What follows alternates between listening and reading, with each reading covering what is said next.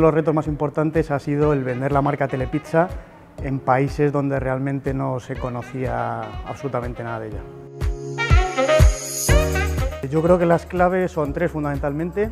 La primera es conocer exactamente cuáles son tus debilidades y tus puntos fuertes.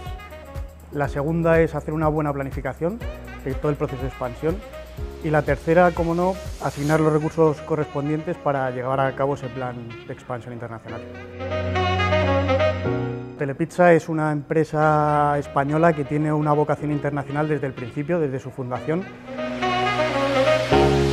Bueno, a día de hoy, gracias al acuerdo con Pizza Hut, está en alrededor de 30 países, gestionando alrededor de 2.500 tiendas.